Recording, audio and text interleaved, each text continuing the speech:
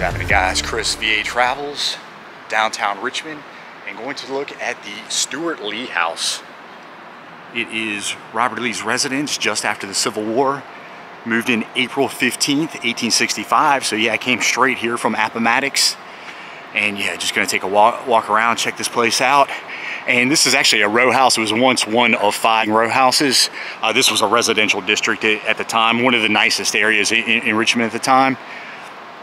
And architecturally, just a Greek revival style building. Uh, nothing really stands out, just three bay, three story uh, brick building. You'll see four chimneys, uh, one on each corner. And supposedly there's a little bit of a hip roof on top, but you can't tell. Some door columns on, on that pediment there. Kind of a neat looking uh, light fixture hanging down. And pretty cool wrought iron fence. Got the little Greek key down there. And yeah, all right, so to give you the history, uh, Norman Stewart, he was a tobacco merchant from Scotland, built this place 1844. When he died, it was passed on to his son, John Stewart. And the connection is John Stewart rented the house to Custis Lee. That would be George Washington Custis Lee, Robert E. Lee's oldest son. And he used it throughout the Civil War, kind of as a hangout for he and his Confederate general buddies. It was almost like a bachelor pad from, from what I had read, bachelor hangout.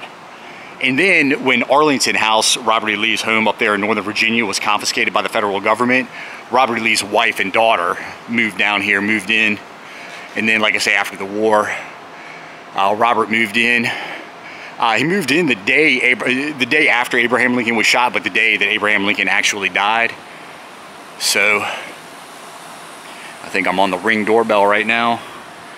And a little kind of entrance right there. Let me uh, not too much. I don't know if these wings back there were uh, eventually an add-on, but yeah, let me just walk around.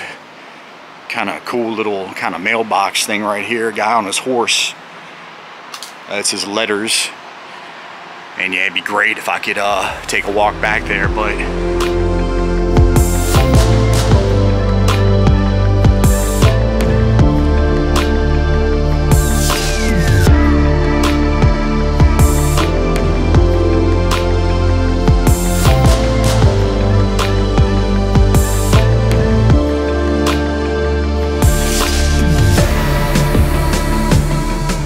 Yeah, so Robert E. Lee, like I say, only lived here for two months.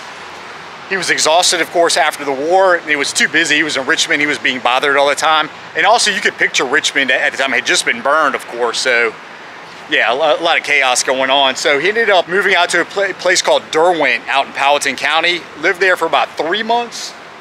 And then, of course, moved to Lexington, where he became the president of Washington University, which became Washington and Lee. Okay, couple uh, porches back there.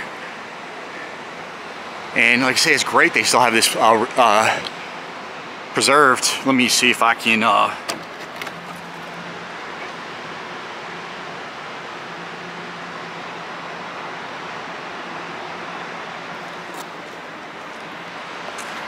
I'm not sure what footage I got there, but there's a famous photo of Robert E. Lee on the back door uh, taken by Mathew Brady.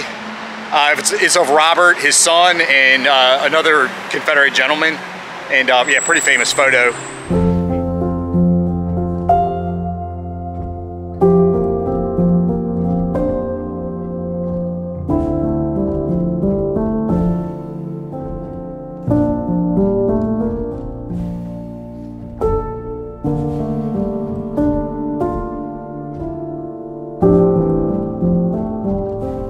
And yeah, I found there, I have some photos of the inside I, I found online. I'll, I'll put those up.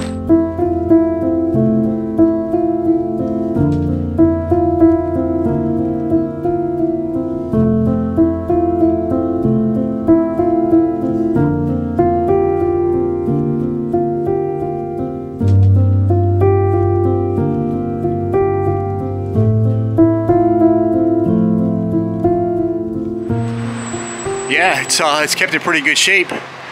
So, crepe myrtles, your magnolia.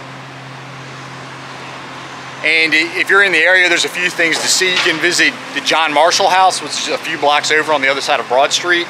There's the Valentine Museum. Of course, there's the Capitol. Actually, there's the John Marshall Hotel kind of cool. Uh, pretty cool architecture on that building. Yeah, just a quick look at Robert E. Lee's first home after the war. As always, like and subscribe. You can follow me on Instagram. And if you want to help me get out to more of these places, you can uh, support me on Patreon. See ya.